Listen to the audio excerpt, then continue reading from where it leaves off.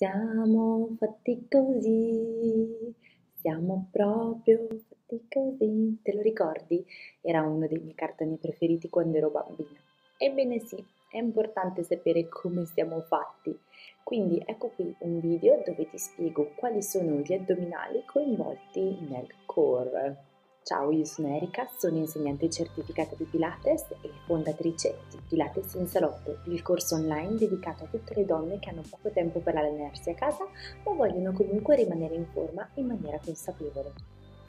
Abbiamo capito che in una lezione di Pilates vengono stimolati soprattutto i muscoli del centro del corpo, la cosiddetta powerhouse.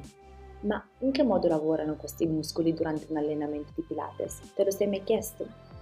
Imparare a conoscere il nostro corpo ci dà la possibilità di gestire un movimento consapevole, aumentando così la qualità dei nostri allenamenti. Eccoti quindi spiegati in maniera semplice i muscoli addominali coinvolti nel centro del corpo. Partiamo innanzitutto dalla classica tartaruga, il retto dell'addome. Questo è il classico muscolo a quadratini che si nota in una persona particolarmente allenata. A cosa serve? Serve a farti fare torsioni, fletterti in avanti e a flettere il torace. Gli obliqui. Gli obliqui si suddividono in esterni e interni. Come si può intuire, anche gli obliqui esterni sono muscoli superficiali come il retto dell'addome.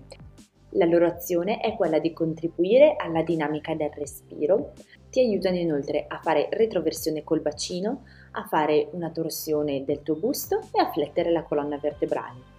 Gli obliqui interni sono invece muscoli più profondi e oltre a fare le stesse azioni degli obliqui esterni aiutano a bilanciare la pressione all'interno dell'addome. Infine c'è il trasverso dell'addome, questo ha una funzione super importante per il Pilates, poiché contribuisce alla contrazione delle costole e alla loro dilatazione nella fase respiratoria. Quindi è importantissimo tenerlo attivo e in salute per respirare meglio e per poterti allenare con più facilità, attivando anche la corretta respirazione del Pilates. È inoltre importantissimo per mantenere una buona postura e inoltre contribuisce ad aiutarti ad avere la pancia piatta poiché costituisce un corsetto addominale di base su cui si sovrappongono poi gli altri strati degli addominali che vanno a formare poi un corsetto che avvolge il tuo addome proteggendo anche i tuoi muscoli. Studi recenti hanno dimostrato infatti che un trasverso dell'addome in salute ti aiuta a mantenere eleganza nella postura e soprattutto aiuta a prevenire il mal di schiena. Quindi la prossima volta che decidi di seguire una lezione online di Pilates e di allenarti a casa, anche se hai poco tempo a disposizione, fai prima di tutto questa cosa. Sdraiati a terra a pancia in su e concentrati sulla respirazione.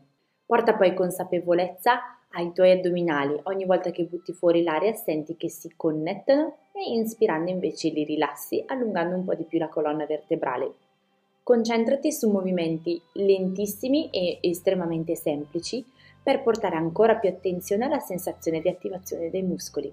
Qua sotto ti lascio il link relativo questo, all'articolo che ho scritto riguardo a questo video, oltre che all'articolo che ho scritto sui 5 step fondamentali per imparare la respirazione del Pilates, utilissima. Se il video ti è piaciuto io ti invito a iscriverti al canale, lasciare un like e a seguirmi anche sui social network. Mi trovi su Instagram come Bueli Erika. Grazie! Grazie per aver guardato questo video fino alla fine. Qui trovi altri due video che possono essere interessanti per te.